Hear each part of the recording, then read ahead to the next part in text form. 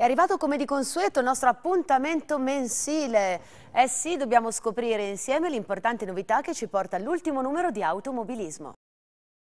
In questo mese puntati in esterno per presentare le novità della casa editrice di sport siamo venuti proprio qui a Pero in casa di Fabio Madaro. Ciao Fabio.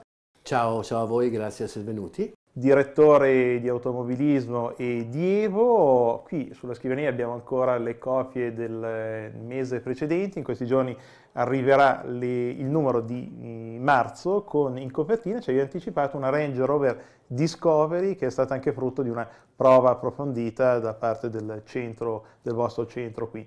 Esattamente.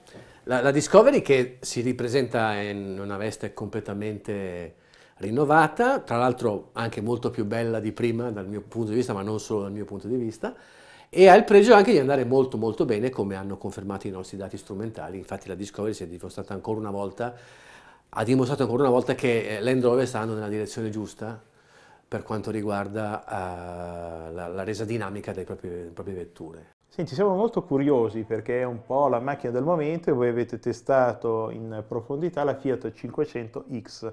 Com'è andata nelle vostre prove? Ma bene, la macchina è, è una 500 effettivamente mm, così anabolizzata, eh, che ha fatto palestra e al di là di, dell'aspetto diciamo estetico, comunque credo convincente, ha, ha, la possibilità di offrire molto più spazio rispetto ovviamente alla 500 normale, per cui è una macchina anche molto più versatile. Senti, di famiglia in famiglia, il mese scorso abbiamo parlato della Smart, la nuova Smart, quella a due posti, quella classica anche se è una macchina completamente nuova e questo mese è stata la volta della 4 la Smart, quella a quattro porte. Uh, la macchina è ovviamente uh, più, più, comoda della 4 della Smart normale e ha il vantaggio di potersi muovere in città con una certa disinvoltura.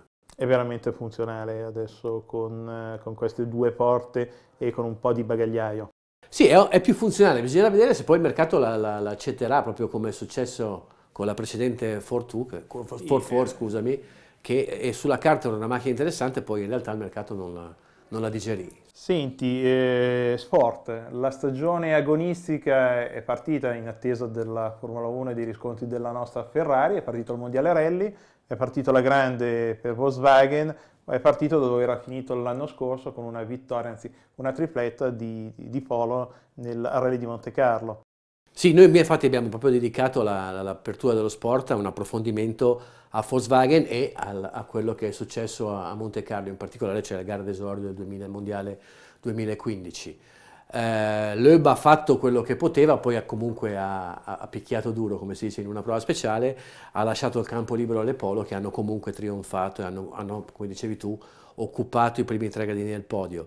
È chiaro che è una macchina vincente, è chiaro che probabilmente è una macchina destinata a vincere ancora tanto da, in questa stagione. Eh, eravamo partiti con un fuoristrada con la copertina Discovery e chiudiamo con uno speciale fatto sulla neve eh, dove avete portato delle vetture... Lo abbiamo. Dove abbiamo portato, perché anche noi abbiamo partecipato a questo servizio, eh, sei crossover eh, tutte dell'ultima generazione. Abbiamo fatto insieme questo, questo gioco che poi in realtà non è proprio un gioco perché abbiamo comunque eh, messo in campo 6, 6 4x4, chiaramente differenti per fasce di prezzo, per uh, destinazione d'uso, per caratteristiche, però tutte appunto accomunate dal fatto di essere relazioni integrali e abbiamo così verificato sul campo le loro potenzialità in chiave invernale. E ormai come da tradizione concludiamo la chiacchierata con Fabio Madaro parlando anche del fratellino di automobilismo e mi riferisco a Evo. Se il mese scorso ci avevate fatto sognare con questa sfida eh, Enzo contro la Ferrari, dunque Ferrari contro Ferrari, anticipaci quello che troveremo nella prossima copertina, dobbiamo tenere alto il livello prestazionale. Deve tenere alto il livello e, e infatti mh, così sarà nel senso che avremo la, la nuova Engage in, in copertina, protagonista assoluta, contrariamente a, a questa dove per esempio c'erano due Ferrari molto molto particolari. Bene, ancora grazie a Fabio Madaro, lo lasciamo che deve salire dai suoi colleghi proprio per ultimare le copie che a giorni, a ore saranno in edicola, ricordiamo automobilismo di marzo con in copertina la Range Rover Discovery e qualche giorno dopo sarà la volta di Evo con in copertina la AMG GT. Grazie.